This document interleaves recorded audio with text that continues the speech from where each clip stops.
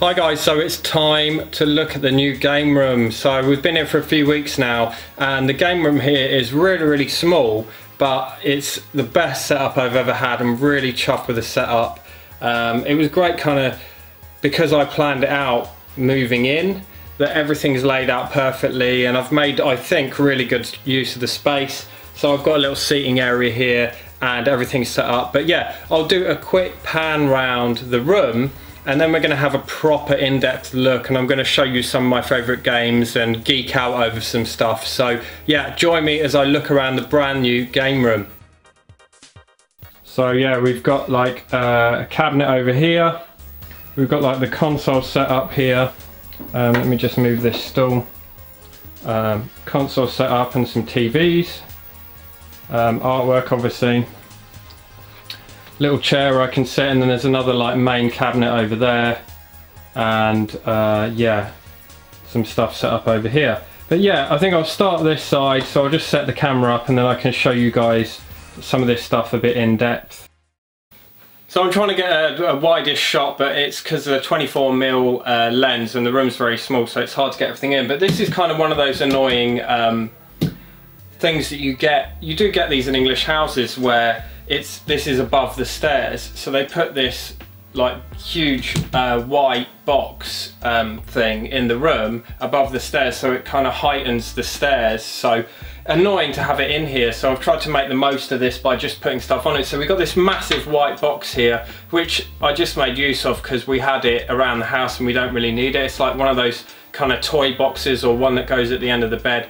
And that is just full of um, console boxes controllers and leads, all the hookups I need for setting up all the consoles and everything, um, the ones that aren't set up permanently. So that's just full of all sorts and odds and ends, so it's good to have there. We've got the trusty Vectrex here, obviously, which has the, um, the new UV overlay on. I don't know how well you can see that there, but I'll be doing a video on that soon enough anyway. Um, we got my Streets of Rage vinyls, which were signed by Yuzo Koshiro when I met him. They are awesome, really nice memory of uh, when I met Yuzo Koshiro and saw him play live at Fabric in uh, London. Behind here we've got some artwork. We've got uh, the Sonic 2 artwork from Soul Funk Retro there, which is awesome. Probably getting a bit of glare from the TVs the other side of the room. Um, we've got the uh, Tempest cab, the mini 12 inch cab that I got from Replicade uh, New Wave Toys. Um, and then yeah, up here we've got a little Fallout shrine. Um, so we've got the, the Pip-Boy Fallout 4, we've got Fallout 3 Lunchbox Edition, we've got the uh, Fallout New Vegas um, special edition which is actually numbered one of 6650 so I'll show you a close-up of that if I remember as well. And then some little like odds and ends of Fallout stuff. Uh, and then we got my Mega Drive obviously big box Mega Drive. Um, great memories there. I don't know if you can see it but there is a little Game Boy sign. I think you can see it. I should have worn my glasses. There's like a Game Boy sh old shop sign there. Um, the Sega sign which is from Nathan Russell and then we've got a GameCube and on top of there's a little Boba Fett. So there's actually only two things in this whole room that were my original ones from childhood and this little Boba Fett on the speeder bike is one of them and uh, yeah I mean I had hundreds and hundreds of Star Wars toys in the 80s because I had like quite a big collection of them anyway and then uh, one of my friends Adam who was a couple of years older than me probably two three years older than me and he had two older brothers and all three of them had an absolutely huge collection each of uh, Star Wars figures. And when they got to a certain age, his mum just gave me all three of their collections. So I essentially had four big collections together of these Star Wars toys and I, I had so many. But yeah, as you do, I sold them all, but these are the only things I kept. So I kept the little speeder bike and the Boba Fett there, so that's cool. Um, and then over there behind the Tempest cab, I don't know if you can see that, but we've got all my other um, gaming soundtrack records. So we've got the data disc records, um, we've got Shadow of the Colossus, Shovel Knight, Hotline Miami, some of my favourite soundtracks, but I'm sure I'll show you a close up of those as well if I remember. So let's move around this way to where the kind of seating area is and then the main cabinet in the room. So a bit of an awkward angle from here, but we'll make do. So we've got all the console boxes up here, or some of them at least. Um, this actually, to I didn't mention, this game room is probably it's probably like two thirds of the collection. So loads of stuff is in storage or under the bed or elsewhere. Most of my modern stuff like um, 3DS, Switch, Vita, PS4, uh, all downstairs or under the bed. All my DS stuff, loads of stuff is still uh, away in storage. So um, this is the main kind of stuff that I like having on show and the stuff that I like to play in general. So yeah, we've got um, we've got Sound Dreamcast PC Engine boxes. We've got the NES, which is actually in the box, um, which I don't have set up permanently. Uh, we've got the Super Famicom which is set up and then an N64 which again is in the box because I have a special edition N64 that's set up kind of day to day. Uh, then we got the two shelves of my favourite console of all time, the Sega Mega Drive or Genesis for my North American viewers. Now, um, this, this lot is two deep and this shelf is just one deep, so there's plenty of room for more stuff in the shelf. So I've got some of my favourite games kind of lined up on show. We've got this little Sonic uh, Pixel Pals thing which lights up, which is cool. Um, we've also got these, these are cool. I used to have these when I was a kid. You guys used to have these, so if, if that's going to focus. Um, they are the Panini uh, Sega Super Play cards. So that's a full set in a little protective case, but they are awesome. Um, I used to collect those when I was a kid, so it's cool to have a little full set of those. Um, so yeah, some of my favourite games, we've got Bare Knuckle, Streets of Rage, so I, uh, I do have um, Bare Knuckle and Bare Knuckle 3, but I don't have a boxed copy of Bare Knuckle 2, I've only got the cart only. I would like to get a Bare Knuckle 2, um, but I do have Streets of Rage and Streets of Rage 2, hugely nostalgic to me. And I sold my copy of Streets of Rage 3, and I bought uh, Bare Knuckle 3 because it is without a doubt the better game. A lot of changes made for the Western version. And then you just got two layers there of uh, Mega Drive games. Loads of great stuff in there, love my Mega Drive. Um, we got some of the new releases like you've got um, Tanglewood here, Coffee Crisis, some of the newer released uh, Mega Drive games uh, Solar there and uh, Puppy Commando, another two new new-ish games. Um, let me move the camera as we go down so you can see. So actually, seeing as it's my favourite console, the Mega Drive, let's have a look at some of the other games back here. Um, just some from childhood or whatever um, ones I used to enjoy.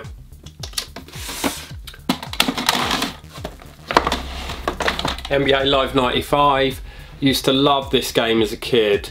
Um, one of one of the best NBA games of the 90s. Really, really awesome series, but this is my favourite by far. And uh, I have another memory of when I first moved out my parents' home, which was I think the year 2000. So I was 19, and got this new sound system like Yamaha amp and massive speakers and everything from Richer Sounds. And we had like a PlayStation 2 and we had a Dreamcast at that flat but I also had my Mega Drive because even even back then I was uh, you know still into Mega Drive and playing the Mega Drive. And I remember setting up the stereo and we played Streets of Rage and we played um, NBA Live 95 with with the stereo set up. Really great game. Got the Sonics obviously Sonic 2 being my favourite um, Sonic 3 is great and we got Sonic and Knuckles there but Sonic 2 is probably the one that I'm most fond of, sort of nostalgia wise. I loved that game back in the day. Uh, especially the two player mode despite the slowdown. Strider, used to have that as a kid. Um, Taz-Mania, that's a great one. Um, ToeJam and Earl, one of my favourite games. Used to play this to death with my mate back in the day. And uh, yeah, just played through the co-op mode and um, play it through to completion. It's got a really good end screen as well where you get back to your home planet and you you actually play the the end of the game, if that makes sense. Um, you get back to your family and what have you, but love this game, love the whole idea of it and the whole funk aspect of it and the music and everything. Let's see what we've got up here. Micro Machines. So Micro Machines 2 probably my favourite. Turbo Tournament's great. It's kind of a revamped 2, isn't it? But um, yeah, this is the one that, that has the most memories for me. But still to this day, when I have a few mates around, we whack the four player multi-tap into this or uh, you can use the um, the J-Cart so it's got two extra controller ports actually on the cartridge but um, it is a bit ropey like if you if someone pulls one of the cables then it does kind of mess with the cartridge and can turn the game off so generally I just use the multi-tap but yeah I mean is there a more competitive multiplayer racing game from the 90s I don't think so. Um, let's move these down.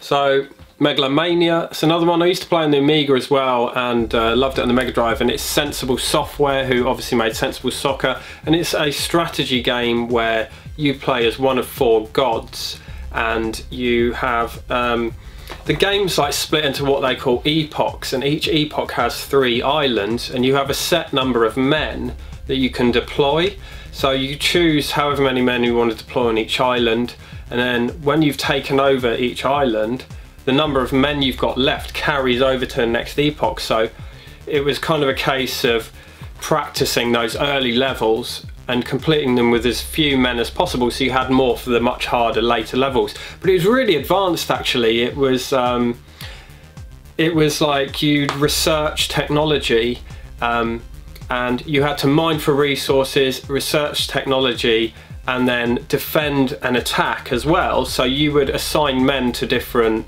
tasks and uh, yeah it was hard because you had to um, as you kind of advance technologically you'd go through eras so it was like medieval era and then you'd advance and eventually like futuristic weaponry and defenses and all this jazz.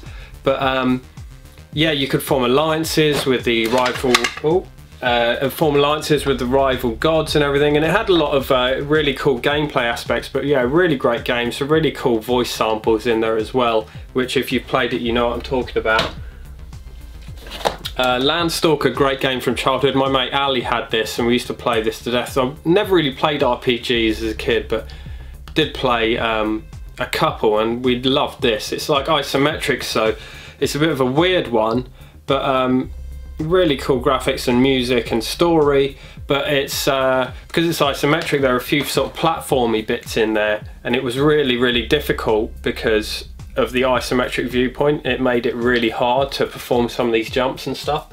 Uh, of course Golden Axe, Golden Axe 2, Golden Axe being um, my favourite one in the series. Um, this is a great series, Desert Strike, so um, still play this every now and again and with the uh, the quick shot python joystick you know the one that's actually like a joystick. Uh, so it's really nice for piloting the helicopter um, Comix Zone great little game I never actually played this until um, you know well after the the 2000s um, so probably like 10 years ago maybe uh, but yeah, it's cool. It's kind of like a little beat 'em up. It's set within a comic strip, and it's a shame they didn't expand on this series or it hasn't had a sequel. But it's a really, really great game. Um, what else we got in here? Altered Beast and Aladdin and all the classics like that. See what else we got back here. Oh, Forgotten Worlds. That's a great little shooter from uh, Capcom, I think. Is it Capcom? doesn't actually say, strangely. It just says Sega, but I thought, um, I had a feeling Capcom uh, actually made this game, but I'm not sure. Someone could tell me in the comments, but yeah, great shooter. It's uh, like a weird setup, the shooter. You're two little floating men, but it's um, it's a good two player game and it's got like a shop mid-level where you can buy upgrades and all that jazz. Um, I didn't really play shooters either much when I was a kid like relative to other stuff so um, the shooters I did play I really enjoyed. Um, oh, it's another one Ali had, my mate down the road, Kid Chameleon. So uh, it's a really cool little platform game. It's so long, there's so many levels to this that we couldn't have ever possibly hoped to have completed this without the aid of modern stuff. So like if I play it on the Everdrive and I've got a save state or something and I can save it and come back to it, but it takes forever.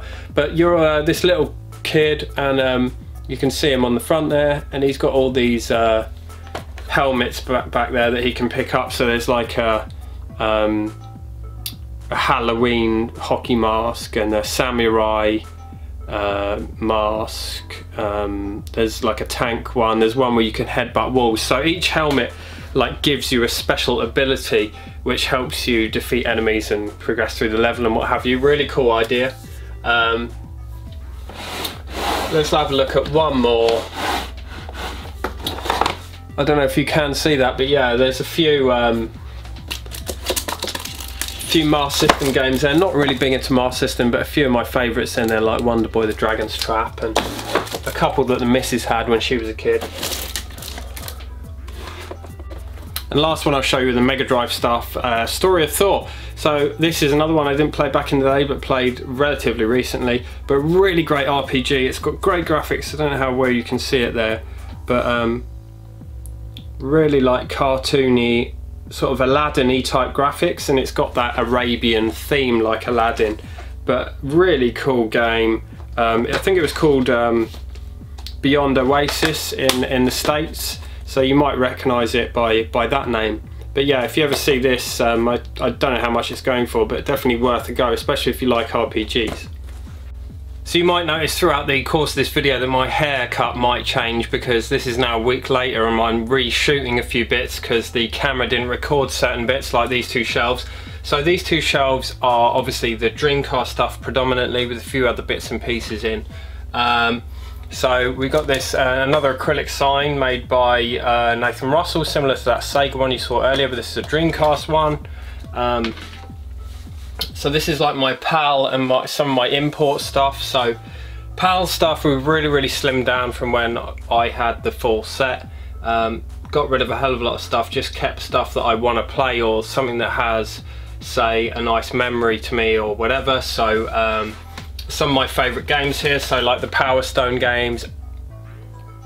Absolutely love these games, played these to death back in the day because when I first moved out of home my uh, flatmate had a Dreamcast and uh, we used to, yeah, we used to play Power Stone absolutely all the time, um, Soul Calibur, uh, what else, Crazy Taxi, um, Aero Wings 2 there, that was the first gift I ever got on YouTube. That was from Sean, aka Horatio Van Basten. Um, when I was doing the full set, he sent me that, so that's a nice little memory there. Um, another one, Dragon Riders, Chronicles of Pern. Now that was a gift from Matt Soulfunk Retro and Matthew Hartley. They bought me that at Blackpool again when I was doing the full set, and that was actually the first game that Matt Soulfunk Retro ever worked on.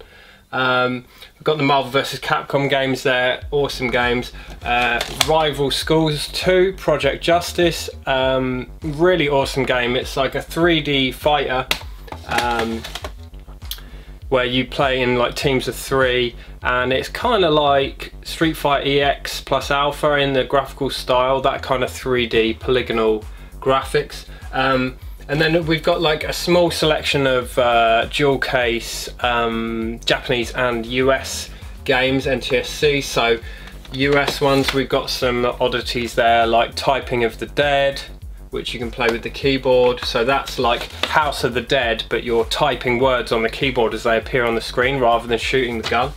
Um, Garou Mark of the Wolves, great little SNK game there on the Dreamcast. Uh, elemental gimmick gear, that was a gift from Raz, uh, Rasmus or Raz Tendo as he goes by now. Um, wicked little RPG that. And then we got some Japanese stuff, so what we got here? My all-time favourite Dreamcast game, Zero Gunner 2.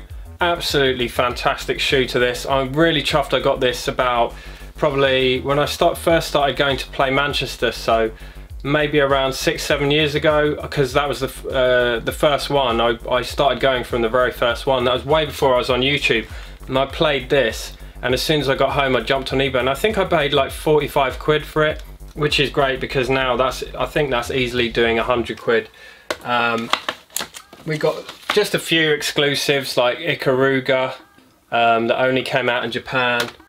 Uh,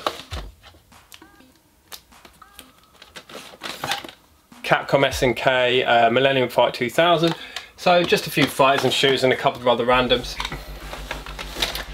We've got a few uh, like custom um, kind of reproductions but of games that weren't released. So we've got Half-Life which was never released, uh, Ecco 2 there and Propeller Arena. Propeller Arena is probably my favourite unreleased game on the Dreamcast. It's an AM2 game and it was cancelled because of 9-11 essentially because you're flying around, you can see on the cover there, you're flying around cities in planes and the release date was really really close to 9-11 so when that happened the game was cancelled sadly um, but yeah loads of great games in there um, now down here we've got some more imports and some indie stuff so um, some of the later indie releases like uh, from Neo uh, NG Dev Team stuff like Gunlord there um, few other random ones.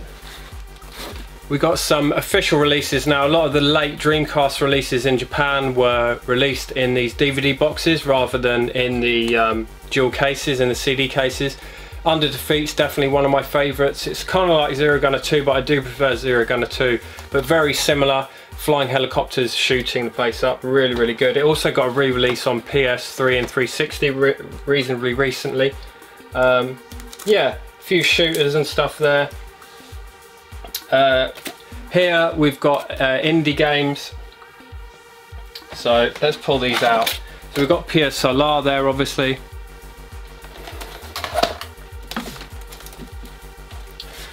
So yeah, these are just some of the like more recent releases. So I think that came out last year, Alice Dreams Tournament. That's kind of like a Bomberman clone. Um, what else we got that's interesting in here? Sturmwind, which is one of the better indie games, horizontal shooter, but it looks absolutely fantastic graphically, especially if you run it through VGA. Uh, we've got stuff like Rush Rally Racing in there and what have you. I got rid of a few of my indie ones because I just wasn't playing them, but these are the ones that I kind of really like or have a connection to in some way. Um, we've got a load of peripherals there, so we've got the House of the Dead gun, I don't know how well you can see back there. We've got like a mouse, several controllers, like VMUs, all sorts. Um, got the box from one of my ASCII pad, Fight Pad FTs. So I've got two of those, the blue one and this one, but this is the only one I've got boxed. Um, I've got a full set of the demos, the Dream On demos back there. That's a, a, a recent indie one, Volgarr the Viking. Um, and here we got the uh, Dreamcast Sega Hard, Girl, Hard Girls figure.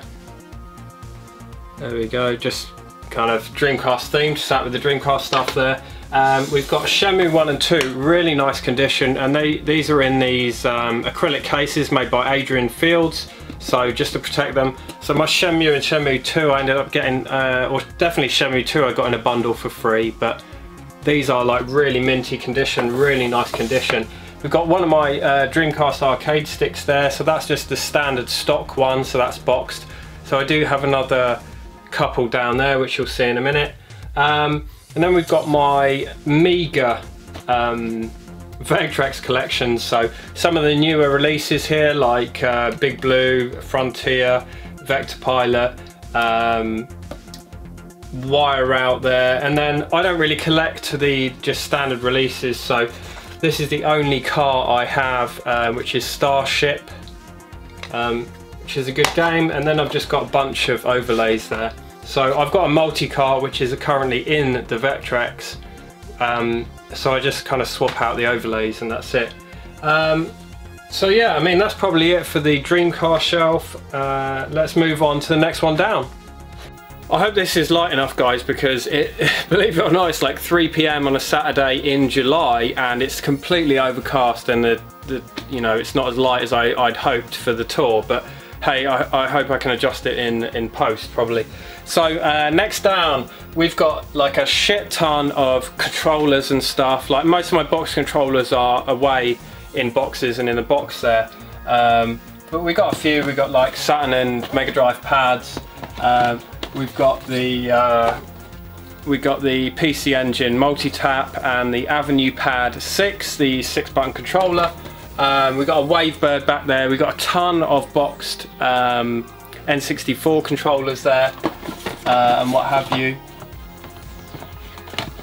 And we've got my meagre collection of PAL Saturn games because I don't really collect PAL Saturn. I got rid of most of them, but we've got uh, Guardian Heroes there, great game, uh, and a couple like from childhood and stuff. This is cool. Um, my custom police Policenauts PAL version from Ben Boyd. He made this case, and uh, yeah, absolutely stunning work there. So this is basically the English translation of Police Policenauts, which never came out but it was ripped to CD and Ben designed this case and everything so that is absolutely fantastic. Um, another Sega Hard Girls figure so that's the third and final one that's the Sega Saturn one so we've got one for each Sega console kind of down the um, down the cabinet. I'm not really into that kind of stuff but they just they're nice they accentuate the the games and there's one for each Sega system so it just had to be done. Um, We've got a few of this of the Saturn RAM packs like uh, X-Men versus Street Fighter. We've got Marvel Superheroes versus Street Fighter there. Love these. Um, the pride of the collection of the Saturn stuff has to be the Dungeons and Dragons box set, which is absolutely minty. Um, I very luckily got this off Steve Bailey years ago for 70 quid, but it goes for considerably more now. But it is in lovely nick. Fantastic game. If you've not played this, this is a compilation of the two Dungeons and Dragons arcade games that Capcom released. So you've got, um, what's it called? Tower of Dr Doom and then Shadow of, what's it? Shadow of, uh, oh yeah, Shadow over Mistara. There you go. Uh, couldn't quite remember the name of that, but they are fantastic Saturn games there. Um, I'll leave that off so you can see what was behind it. So we've got my meagre collection of PC Engine games because the PC Engine is another one where I thought I got one and started collecting and it got a bit silly so I thought let's let's just get a turbo EverDrive and I'll play games off the EverDrive and not worry too much about collecting them um, but we've got some cool ones in there uh, let me just grab that so like Street Fighter 2 Champion Edition uh, really really good conversion on the PC engine surprisingly it plays really really well but you do need a six button pad um, and then we've got a very small, again, collection of Mega CD stuff because I just burn most of those. Um, but we've got the ones I really love. We've got Final Fight CD, has to be had. We've got Sonic CD there. Um, some good games. And then we've got my collection of uh, Saturn um, Japanese games. So Japanese where it's out on Saturn. If you've got a Saturn and you're playing PAL only, you're really, really missing out because the Japanese library is just vastly better. It's crazy. Um, so we've got some really cool games in here.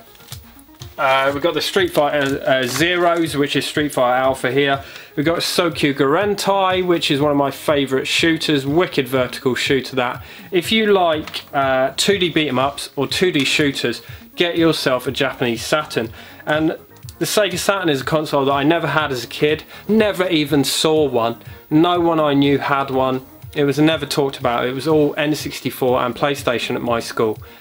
And uh, yeah, just got a Saturn probably about seven, eight years ago and just fell in love with it. And it's one of my favourite consoles now. I play it a hell of a lot these days. Um, what else we got in here?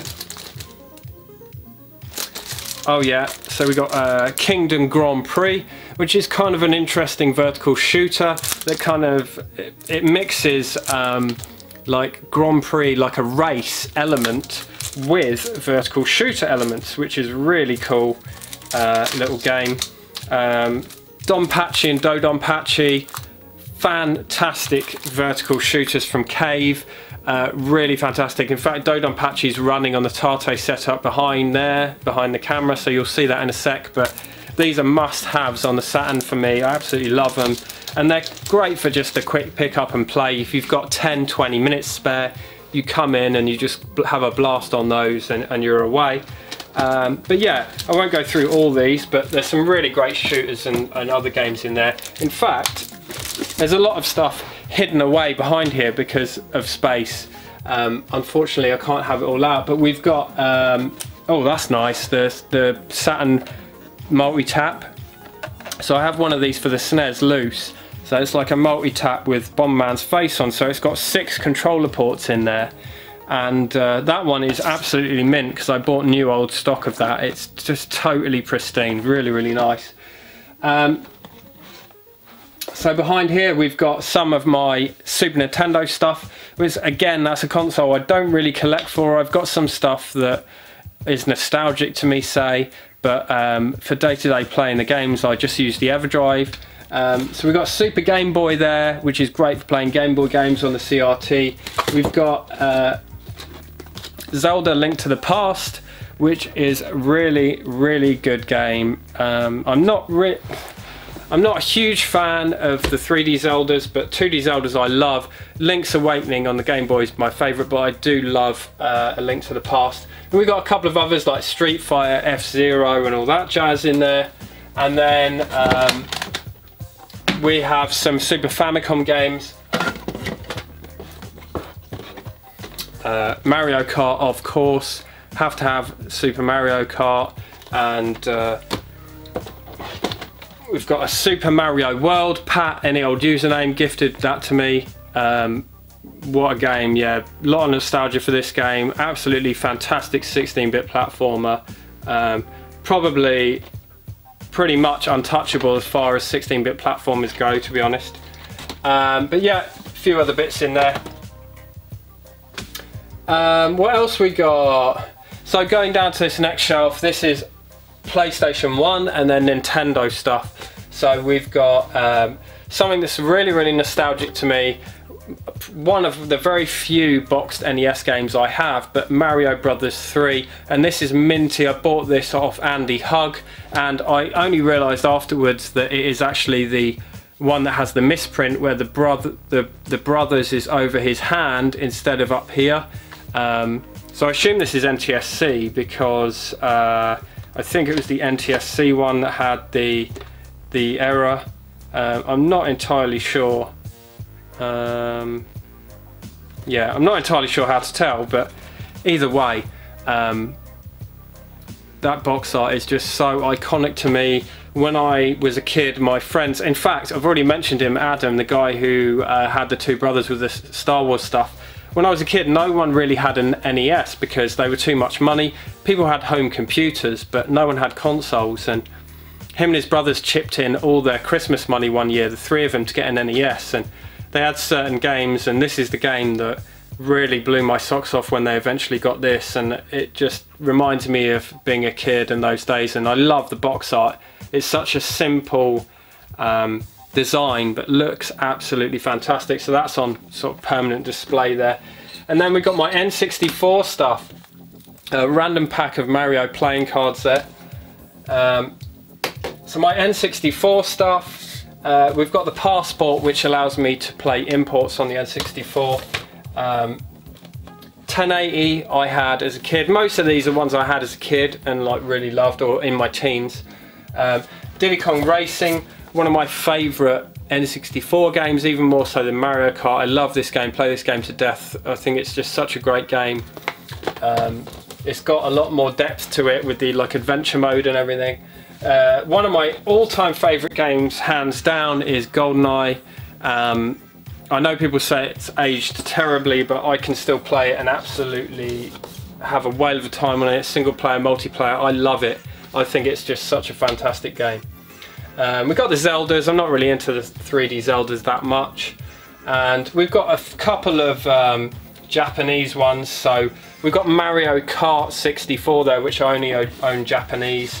And uh, one of the best games on the, on the console, Sin and Punishment, got this years and years ago, um, and it is a Japanese exclusive, and it's like an on-rails shooter, but it is an absolute belter. Um, I don't know how well you can see it. There's very small screenshots there. But yeah, it's an on-rail shooter and it's made by Treasure, who obviously made things like Guardian Heroes, Gunstar Heroes, uh, McDonald's Treasureland, etc. But yeah, absolutely fantastic game if you can get hold of that. I don't know if it's gone up much in price, but I did buy that about six years ago for 40 quid, which is reasonable. I don't know how much it's changed since. Um, behind here we've got all my GameCube stuff, pretty boring. Um, so a reasonable amount of GameCube games, and then uh, some like loose um, SNES carts and N64 carts there. Uh, PS1 stuff, just in front of the PS1 stuff we've got this. Now this is interesting, if you collect PC Engine games um, or, or um, TurboGrafx games, is that going to zoom? Focus rather. Let's, yeah there you go. So they come in these little cards called HuCards and I just bought a couple of these little business card holders. So it's just a business card holder and it fits the HuCards absolutely perfectly. So if you've got some loose HuCards that you want to display you can always grab one of those. They're a couple of quid on eBay. Um, we've also got this little uh, what do you call these? So um, I can't remember it begins with T but these little figures we've got a little Parappa the Rapper because I love that game and it sits well with my PlayStation games. So um, yeah, just some of my like favourite childhood games. I don't go mad. I, I had hundreds and hundreds and hundreds of PlayStation 2 and PlayStation 1 games, but I pretty much got rid of most of those. Um, so yeah, some of my favourite games in here from childhood. Here we go, here's one straight away. Um, Tenchu Stealth Assassins. What a game. I remember that my mate Jaman had a PlayStation and he bought the bundle off one of our other mates, Ben. And this came with a bundle. When we'd never heard of this game, we were like, let's have a look at it and just fell in love with this game. Amazing music, really, really good gameplay, like stealth ninja gameplay. And there's been quite a few in the series since, but none of them have quite lived up to that first one for me. Um, Another one of my absolute favourite games, Bishi Bashi Special. Shout out to Cine Steve who has the arcade cab of this and uh, absolutely kicked my ass on it recently at Arcade Club actually. But um, yeah, just a fun party game. It's like a wacky Japanese party game with mini games and every time in my teens when I go out with friends and we'd come back drunk, we'd whack this on and have a good old laugh and have a little play on this. Really, really good fun. Um, what else we got?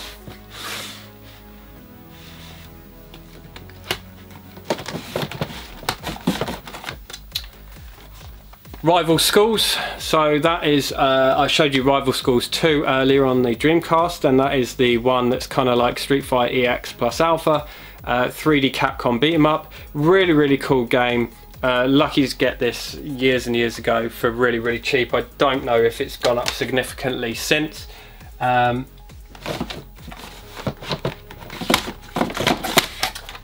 Speaking of Street Fighter EX Plus Alpha, this is one that I've had the Platinum version in my collection for years and years and years, and I keep meaning to buy the Black Label one because that's the one we had back in the day. But this is probably one of the games that I've played the most in my life. It's certainly what the game that I played most in my teens probably because I just played this with friends for hours and hours and hours. Like we'd play this so much in our teens that we'd literally get huge blisters on our thumbs and we couldn't play PlayStation for a week because we'd been doing so many Hadoukens on this game and I still love it. I know it divides people because it's like 3D but it's still a 2D fighter. It's just 3D graphics but it's absolute belter. It's one of my favourite Street Fighters controversially but um, yeah played it to death and absolutely love that game. Um, another great PlayStation game Hogs of War which is like um, it's kind of like 3D Worms so you're um, controlling pigs and you have to just defeat your enemies by shooting or blowing them up or whatever but it's a brilliant game really underrated. It's got the voice of Rik Mayall as well which is another great plus point. Um, and yeah last one I'm going to show you uh, is another one of my favourites Parappa the Rapper. Now this one I got on a demo disc as a kid and it was the onion level the master onion and me and my mates just thought it was amazing and just played it to death that level and then finally eventually got the game uh, the full game. But yeah brilliant little rhythm game. It's got some brilliant tunes really catchy tunes and it's great fun. Um, so yeah let's move down to the last shelf which is more more modern stuff so I won't spend too much time on that. It's not too exciting. So bit of an awkward angle here because uh, we're quite low to the floor but hey ho. Um, so this is all mainly modern stuff. So we've got uh, PS2, PS3, uh, and I think, is that it? Yeah, I think it's just PS2 and PS3. But um, we've also got this, my uh, Garbage Pail Kids from back in the day. Now, as I said, there's only two things in this whole room that are from my childhood, and this is the second. It's another one of those business card holders, and it just holds my um, collection of uh, Garbage Pail Kids from back in the day. So yeah, I don't know why I hung on to them, but they kind of remind me of being a kid and going and buying the packs and, and the taste of the bubble gum and everything. And that's what this whole room is about at the end of the day. It's about nostalgia. Um, you know, I, I come in here and it's like being transported back in time. Um, so yeah, I mean, do I really want to show you this stuff? Probably not. There's a ton of PS2 and PS3 games in there, um, which I have slimmed down, but there's um, still a considerable amount. Love the PS3. PS3 is actually one of my all-time favourite consoles, especially in recent years. I think it's a fantastic console. I had a really good selection of games, and it kind of reignited that passion for games, I suppose, in a way. Um, I, I've always played games, but I think during the PS2 era and Xbox era, I had other things going on um, early in my sort of late teens, early 20s, had a lot of other stuff going on, and the PS3 really kind of revived that spark for gaming. But yeah, I mean, it's a bit boring to talk about PS3 and PS2 stuff, but I'm going to move to the other side of the room, show you the cabinet there and the setup for the gaming and everything. Uh, so just before I show you that side of the room, obviously that's the main cabinet back there. So day to day, there's just this uh, next armchair it's sat in front of it, which I move around, and that's what I sit in while I play, and it's just super comfortable.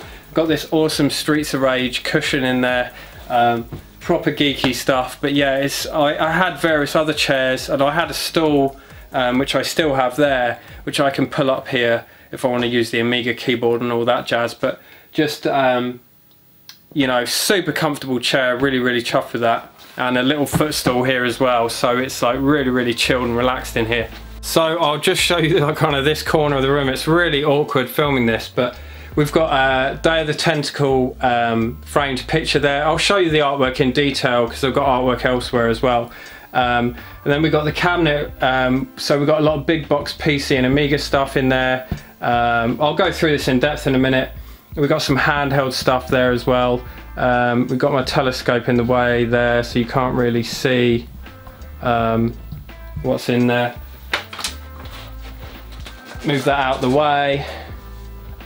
And then, yeah, there you go. So yeah, um, let's look at the cabinet first before we look at the actual game setup um, or the gaming setup. So let's start off here. This is a really awkward angle. Um, one of the prides of the collection, my big box Doom 2, signed by John Romero, who I met at the Cambridge Computing Museum and he did a talk and I had a little chat with him and his uh, wife Brenda, who's also a game developer. Let me just move that angle a bit.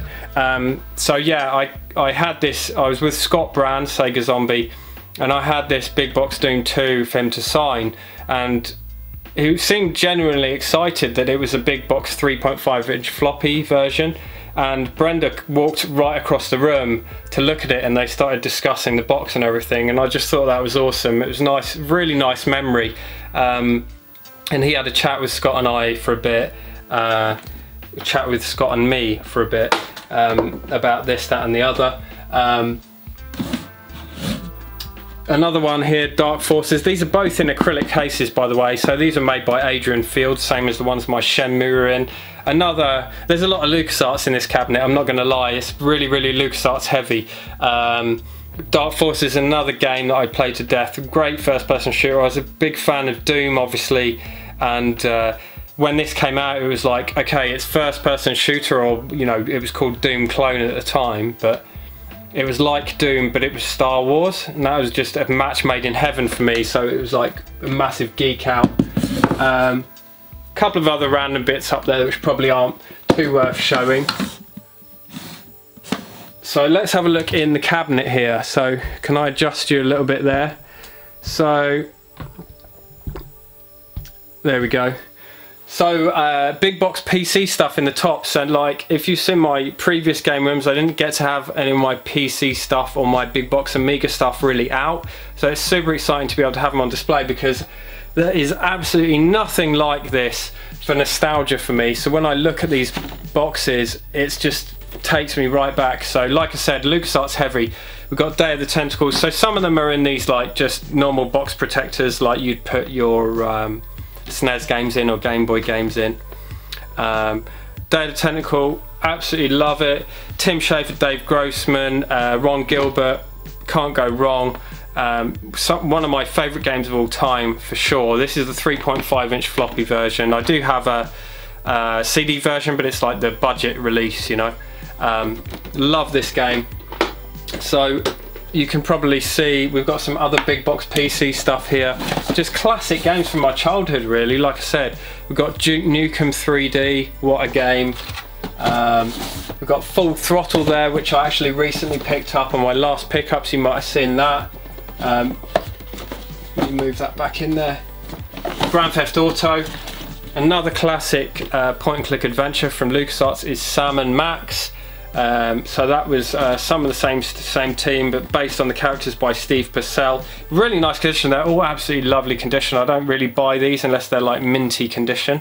But um, I just look at that box art and I'm like, straight back in the 90s, man. It's so awesome. Um, funnily enough, I very rarely play these games because it's a hassle. Uh, I mean, I don't play these versions. I play, I'll play them on uh, like GOG or Steam or whatever. Um, but it's it's worth it for the box art, man. Um, got these little uh, these little um, top trumps, game console top trumps in there. And then we got these the main trilogy of X-wing games. So we've got X-wing Tie Fighter and X-wing versus Tie Fighter. But they are again um, some of my favourite LucasArts games. I wish they'd bring this series back, man, because it's you know, imagine the X-Wing series piloting an X-Wing, piloting a TIE fighter, flying through space, taking place in these huge battles and doing missions, but with today's graphics, hell yeah. So I really hope that's going to happen one day. Um, so let's move down to the next shelf. I move the camera there slightly. Uh, so we got another classic, one of my all-time favourite games. If you know me, you know this. Monkey Island. What a game. Oh, uh, never gets old. Played this a hundred times all the way through and I still play it every year or two and absolutely love it. Just iconic game for me. It was one of the one of the only games that, I mean, how often do you genuinely laugh when you're playing a game? And I know Monkey Island was certainly the first time I proper, proper belly laughed uh, playing a game. It's really, really funny. It's still funny, great sense of humour, the LucasArts games and it's just really special to me. I think back in those days, the Amiga days were like my formative years playing games, um, where I really just honed my love of, of gaming, and Monkey Island just means a lot to me from that point of view. It's really from a time where I was just learning that I just loved these kind of games and those adventure games and essentially games with a story. I just love games that have an immersive story and you get into the characters and you feel for the characters. And uh, if a game can do that for me nowadays then I'm sold you know I'm in. Um, we've got a little another one of those I think they're called Tataku figures Tataku. We've got a little lemming is that going to focus? Come on. My autofocus is uh, being proper shit today. Because it's going for my my face. Um, yeah, little Lemmings Tataku figure because you've got to have a bit of Lemmings if you've got the Amiga stuff on display. Um, I've been after a nice box Lemmings actually because I picked one up recently but it was knackered. Uh, another one of my all-time favourite games, Bullfrog Syndicate on the Amiga. Still play this so much. It's such a great game absolutely love this game. It's like a, I suppose, is it like a strategy game? Um, you control like four cyborgs and on missions, and you have to like kidnap people or assassinate people or blah blah blah blah. Really cool, like dystopian future, like Blade Runnery style. Um, but yeah, it, it, just a great game. Absolutely love it. Some other games that I really loved as a kid. Uh, Super Off-Road Classic. We've got Settlers there. Uh, Dune 2, another great game.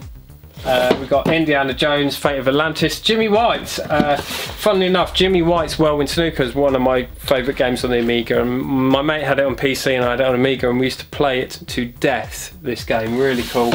And A Train, um, A Train I've not played for years, but me and my mate Ali we used to play this game to death, man. Um, and we've got a couple of books and bits and bobs here.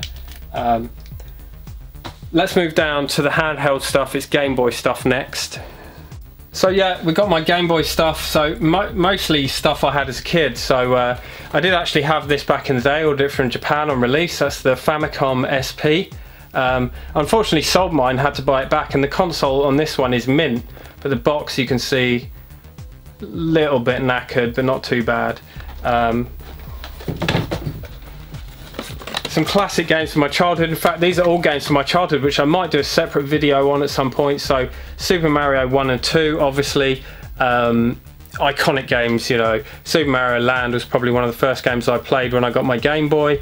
Absolutely loved it. And 2 just builds on it. And what they achieved on the Game Boy with 2 was just really impressive.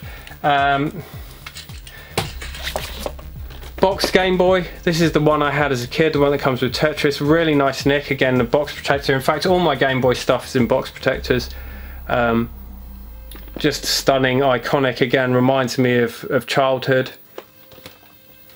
And then yeah, these are all games I had as a kid. So like uh, Empire Strikes Back, Kirby's Dream Land, Motocross Maniacs, Radar Mission, blah blah blah blah. We've got another SP there. We've got a Game Boy Color, Game Boy Advance box, and then we've got a small collection of Game Boy Advance games because I am intending to just buy an Everdrive for the Game Boy Advance but games that I really liked back in the day like Super Mario Circuit, Street Fighter Alpha 3 uh, I had you know back in the day. And then my favourite Game Boy Advance game and again this is one of my favourite games of all time the Advance Wars 2 uh, and Advance Wars 2 is like um, it's like a, a turn-based strategy game but really cartoony. It's not the kind of game I'd normally play but I remember just randomly getting this back in the day. Maybe it was a gift or something, and I still play this. Like I, it was probably about six months ago. I went through a uh, a phase, or like I finished the phase six months ago, but I was playing this for like four months every night, and I'd go to bed and play like a round of this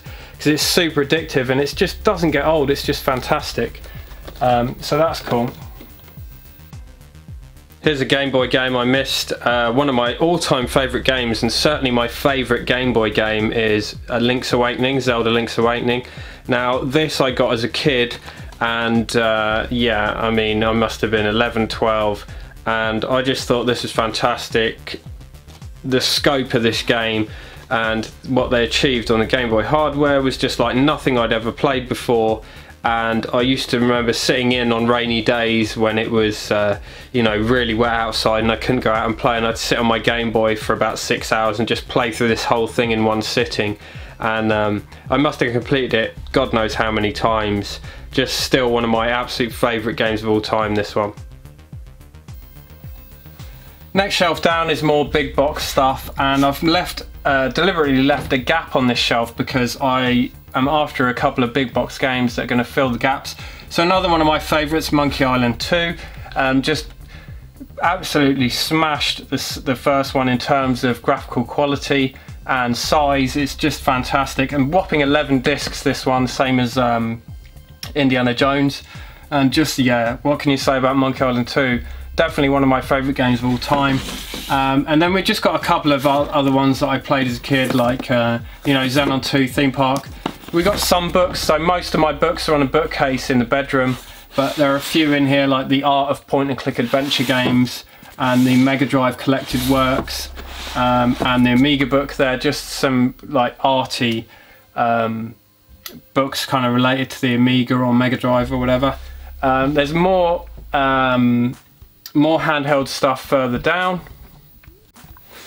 So this shelf is kind of loose uh, handhelds and some other bits. So I've got all this in one of these lipstick um, holders. So let me just grab it. So yeah, you can buy these on eBay really cheap. They're like lipstick holders or makeup holders and you can put your loose carts or your consoles or whatever in there.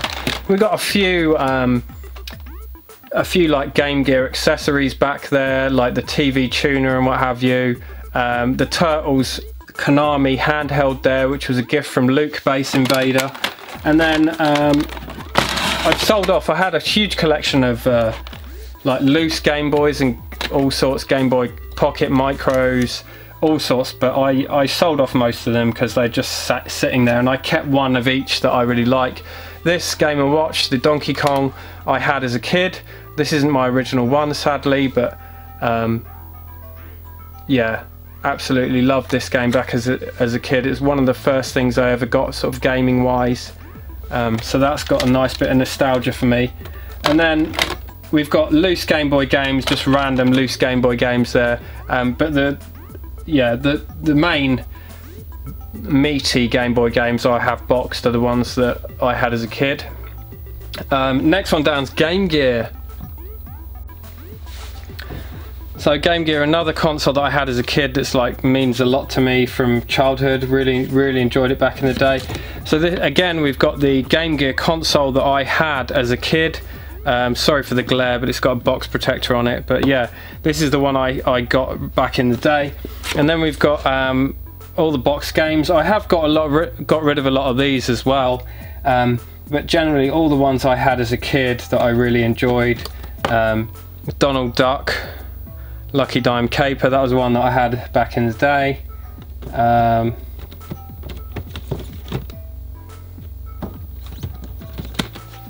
Factory Panic, a little puzzler that I had. That's a cool game. But there's plenty of games that I didn't have back in the day. We've got Ninja Gaiden, uh, Popils, another great little puzzle game. Wonder Boy, The Dragon's Trap, that's got to be my favourite. If I can get it out. Hands down my favourite um, Game Gear game. Brilliant game, used to love this back in the day. And then we've got the Sonics and what have you there. We've got um, some loose carts there. Uh, Master of Darkness. That's a really cool kind of Castlevania style game that's uh, on the on the Game Gear that I never played back in the day, but got more recently. But yeah, kind of a mixture of old and new in there. But um, yeah, I do love the I do love the Game Gear. While I'm down here, I might as well show you just uh, in between the cabinets here. We've got PS3 and a couple of pads, and, and we've got a uh, a Pentium laptop in here that Cine Steve gave me. So PS3 is not actually set up, but I just plug it in when I'm when I want to use it. Um, we've got another PS3 set up downstairs that um, since we moved in I haven't bothered to set up either. But uh, yeah, still love my PS3. Still think PS3 is definitely well worth playing in, in, this day and age, and really, really good console. So let's have a look at the actual setup of the TVs and everything in here, guys. So let me sit on this stool so I can actually um, show you what's what. So we've got the BBC Micro here. BBC Micro, probably the first computer that I really, really got stuck into playing games on absolutely love BBC Micro. That came from Alex, and Nintendo Arcade. I still need to do a video on that. I haven't done a video on this BBC since I got it. Um, then we've got my Amiga 1200 there, which has the compact flash um, hard drive inside and accelerator and all that jazz. And it's going very yellow, but I've got a brand new case coming for that in a couple of months which is really exciting, brand new case and keys, so keep an eye out for that video. Um, we've got the Tate set up here. So this rotates 360 degrees and side to side in any which way you can think of. So when I put it away, it just sits against the cabinet there and it's drilled into the side of the cabinet, but you can move it any way you want. You can move it, um, you know, side to side, whatever you want to do. Um, but generally, it's just set up as Tate mode. We got Dodonpachi on Saturn running on that at the moment. Did I just unplug it? Yeah, I did unplug it, there we go. So that's, yeah, like I said, Dodonpachi on Patchy on Saturn running on there, and that's going through the OSSC, so I can run SCART straight from the Saturn to here, but it looks fantastic through the OSSC with the scan lines and everything. Um, over here we've got a little, uh, you might have seen my little um, AT-AT AT-AT driver from uh, Star Wars. We've got my little Divoom device there which uh, plays music, Bluetooth speaker and also has pixel art on it so you've got like a, a Sega thing going on there. And then the B&O um, Pride and Joy focal point in the game room B&O. Now you guys might remember I did have an MX8000, sold that um, that went to Andy at Arcade Club, that's now at Arcade Club Leeds. And I bought an MX4000, so the, the 8000 is the 28 inch one and this is the 21 inch. And it fits so much better in a room this size. It's absolutely perfect. Sit here on my chair and just play some Streets of Rage 2 or whatever and it, it it's perfect.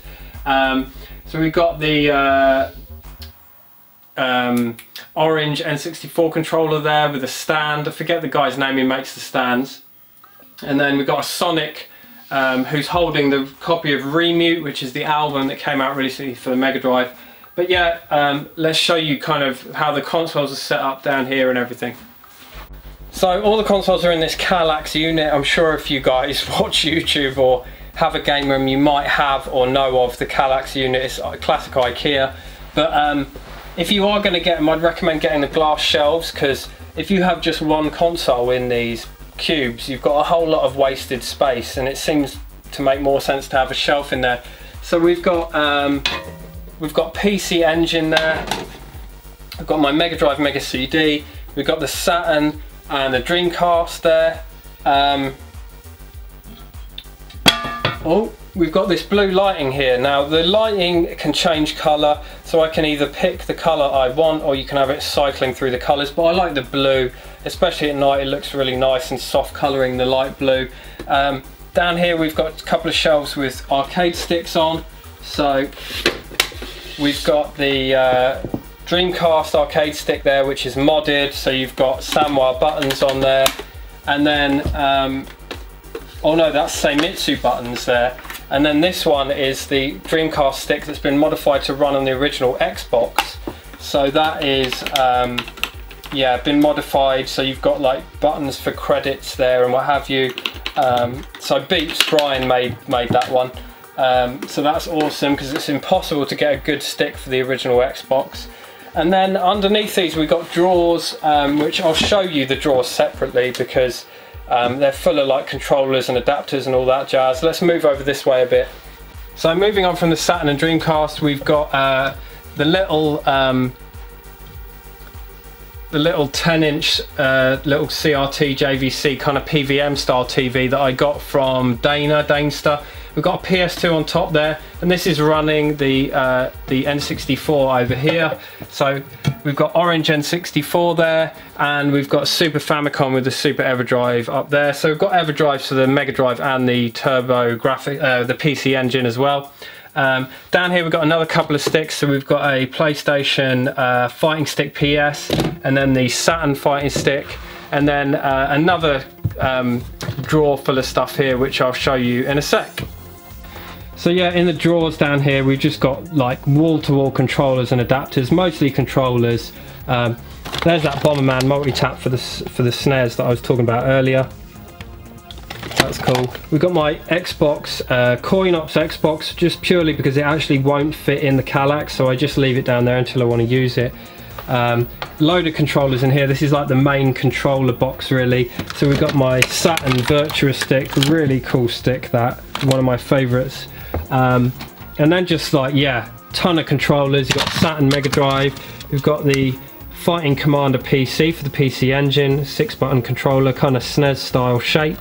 Um, and uh, uh, Avenue Pad, which I showed you the box for earlier, which is a really nice PC Engine controller. Um, load of Dreamcast controllers, uh, load of N64. I've got a ton of N64 controllers. It's insane how many really. Um, we've got some cool, I've got a couple of these uh, Dreamcast fight pads, so they are great for things like, um, you know, the 2D fighters, because I like to have a D-pad. I don't like to use arcade sticks. I prefer the arcade sticks for the shooters. Um, there is another blue one in there. Oh yeah, there it is.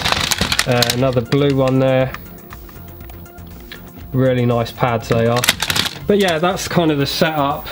Um, if I zoom out a bit, that's all the consoles set up. Oh, I should say that there's two boxes. So there's one down here, um, which I keep behind the arcade stick. Yeah, you can see it there. There's like a, a switcher box down there. And then there's one up here next to the B&O, which just shows, um, which changes between, if that's going to focus, I don't know, is it? Maybe not. But um, it changes between uh, yeah, I can change between various systems on the fly. A load of stuff's plugged in. If I want to switch between Mega Drive to Dreamcast or Amiga, I can do that. Um, again, let's have a little look at this artwork there. Really, really cool artwork there. And then just the main desktop here. Like I said, they've got the BBC and the Amiga, which is undercover at the moment, but my Amiga mouse and Commodore mouse mat. And then uh, yeah that's just the setup basically. And just very quickly because I said I would I'll just show you the other artwork in the room. Um, we've got the Day of the Tentacle poster there which is like Star Wars styled. So both LucasArts thing themed obviously. Um, I love that poster. I've always loved that artwork so having it in the game room is a no-brainer. And one that I didn't show you earlier was this. This is I forget where I got this but it popped up few years ago and it's like a Mega Drive case style but it's um, a poster for the Millennium Falcon and the Kessel Run 12 Parsec Challenge. So I just love that. It's like two things I love Mega Drive and Star Wars in one. So um, let me just flip you back round. So that was my 2019 room tour guys. Thanks for watching. You might have noticed that my bar top arcade isn't in here at the moment. That's at work currently and I'm kind of thinking is that going to go uh, on the bit behind the camera here in the game room or what am I going to do with it? I'm not sure but it's definitely staying. I'm not getting rid of it or anything but it's just at work for now. Um, but yeah the game room tour is great for me. It's just kind of a record. I like to do them in each house and as the collection progresses and everything changes just as kind of a record for me for to looking for looking back on in the future um, but yeah, I'll include a few little clips on the end, a little montage of clips for you guys to have a look at, anything I might have missed. And thank you very much for watching. I'll see you soon. Cheers.